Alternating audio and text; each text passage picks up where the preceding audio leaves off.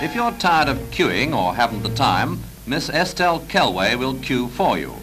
At her West End office, she and Miss Reed, who helps her, receive commissions to go shopping for people all over Britain and for members of the forces overseas.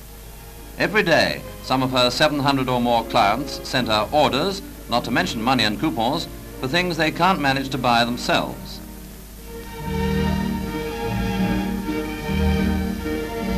When Miss Kelway started her career as a professional shopper, she had no idea what it would lead to. Now, apart from shopping for a living, she's quite used to being asked to do such other odd jobs as taking a client's dog out for a run in the park.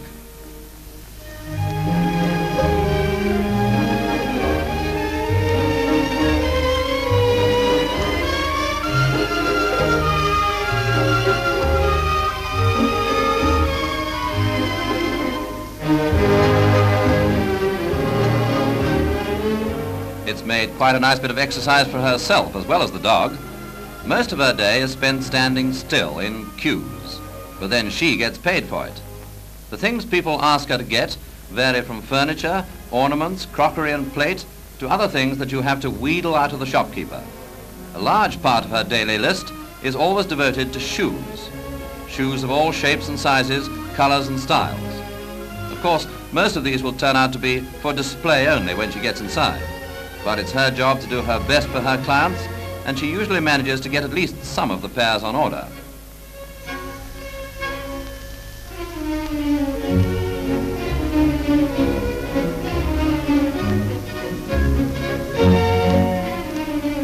Miss Kelway won't be put off with anything but the exact article her clients want, whether it's a wedding dress for a bride-to-be or a present that a wife once bought as a surprise for her husband. Women even trust her to choose the right hat for them, which says a lot for her judgment.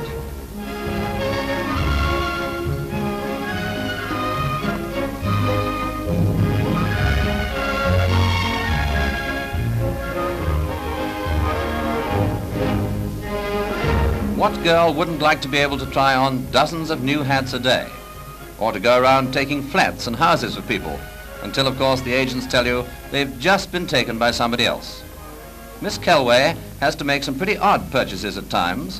One of her clients has written to ask if she can find a nice little cabin cruiser, so she's gone down herself to find just the right one.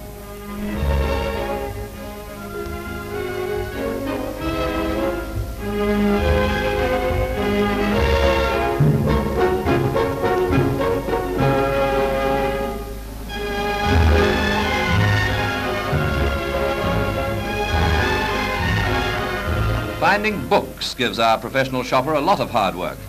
People haven't time to spend hours looking through the second-hand shelves, and why should they, when she'll do it all for them? And when the day's over and the goods have been brought home, there's plenty more work to be done.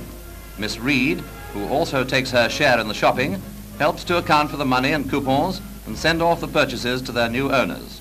Here are some of the results of a day's work.